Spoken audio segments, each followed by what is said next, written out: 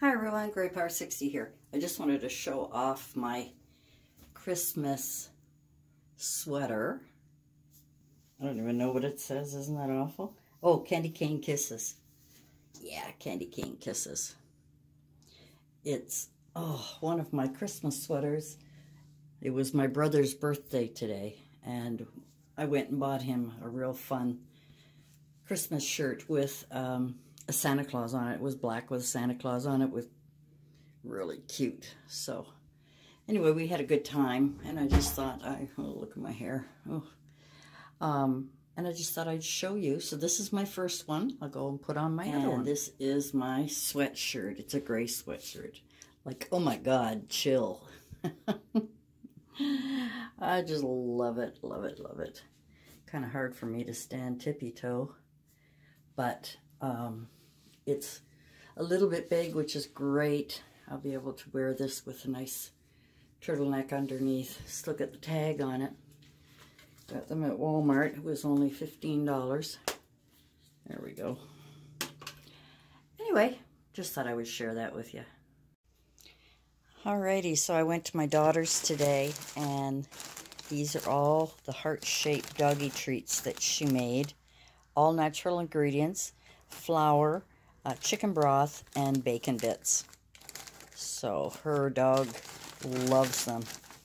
So now I got to figure out how I'm going to package those up. These ones were packaged for six small um, uh, milk bones. So now I got to figure out how I'm going to package these ones up. I may put them in little bags with the little I woof you on them. Not sure yet, but those that's going to be great. So I'm going to have both. I'm going to have uh, homemade as well as the milk bone. Alrighty, another little tip. Alrighty, the day before my last craft fair, I'm just getting organized here. I'm packing things up. Um, and I'm just, I'm not making anything other than my doggy treats. That's my doggy treats. My daughter made these homemade doggy treats. I'm going to sell them for a dollar.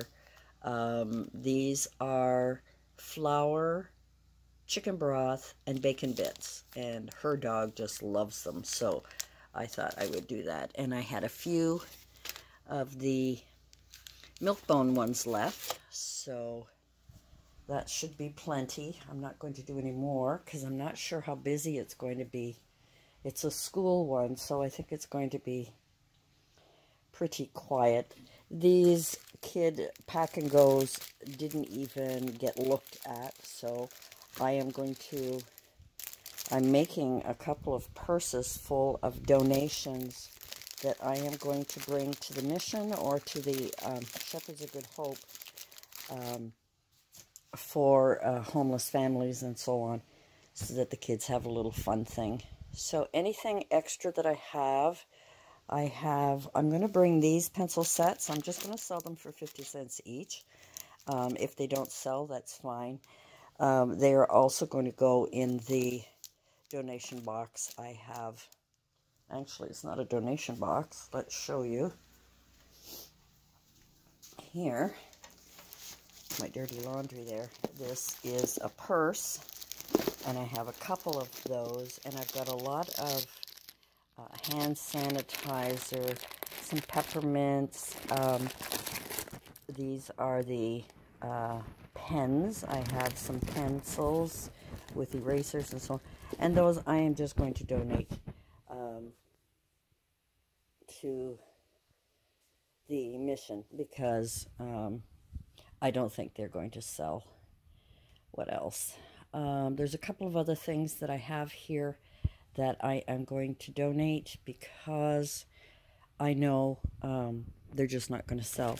I am going to try and sell. The, I never sold any of the uh, scented um, sachets that I made. But that's okay because I can use those. I did sell a few. Um, two, four, six. I got six left. So I sold half. Half of my salted cones. Um, two, four, six. I had 10 of these, so I sold four popcorn. And these are the sweet, sweet and salty popcorns with a little candy cane on top. A, what else didn't, what didn't sell? Um, these didn't sell at all. I thought they'd be kind of a cute decoration. There's a little chocolate in it, and you can put a um, gift card in there. Um, I only had four four of these Santa keys, and I only sold one. So I am reducing the price. These hot chocolate packets, the ones with just the spoon, straw, and thing that I was selling for a dollar, didn't sell at all, at all. However, do I have them here? Oh, these ones sold really well. And this one has the hot cocoa, the marshmallows, the straw, the chocolate, and the candy cane. And these ones, I have four left, and I had 12, I believe. So those ones sold well. So I may repackage these. If I can find the rest of them. Everything is a hot mess. Um,